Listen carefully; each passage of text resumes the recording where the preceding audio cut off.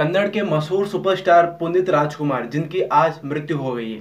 दोस्तों, आप लोगों को बताया चले कि मात्र 46 साल की उम्र में पुनीत राजकुमार की आज मृत्यु हो गई है। शुक्रवार के दिन उनके सीने में दर्द हुआ था, जिसके कारण उन्हें बेंगलोर के हॉस्पिटल में भर्ती कराया गया। लेकिन हार्ट अटैक के कारण पुनीत राजकुमार नहीं रहे हमारे बीच में। दोस्तों, आप लोगों को बताया चले कन्नड़ के मशहूर सुपरस्टार पुनित राजकुमार बड़े बड़े सुपरस्टारों के साथ स्क्रीन शेयर किया है और वहीं बड़े बड़े सुपरस्टारों के साथ काम भी किया है। तो आप लोगों बताइए चले कि कन्नड़ के सुपरस्टार जो कि पुनीत राजकुमार, इनकी फ़िल्म बहुत ही जोरदार और बहुत ही लाजवाब रहती है और ऑडियंस इनको बहुत ही ज़्यादा प्यार करती है। तो बताइए चले कि पुनीत राजकुमार की जब भी फ़िल्में लगती है, कन्नड़ में बहुत ही जोरदार, बहुत ही धमाकेदार तरीके से इनकी फ़िल्मों को देखी जाती है। कन्नड़ एक बहुत ही बड़े सुपरस्टार को खो चुका है। दोस्तों, आप लोगों बताइए चले कि कन्नड़ के सुपरस्टार पुनीत राजकुमार के घर बहुत सारे सुपरस्टार पहुँच चुके हैं और उनके परिवार को सहानुभूति दे रहे हैं। सुपरस्टार पुनीत राजकुमार की यह दुखद भरी मृत्यु हो चुकी है।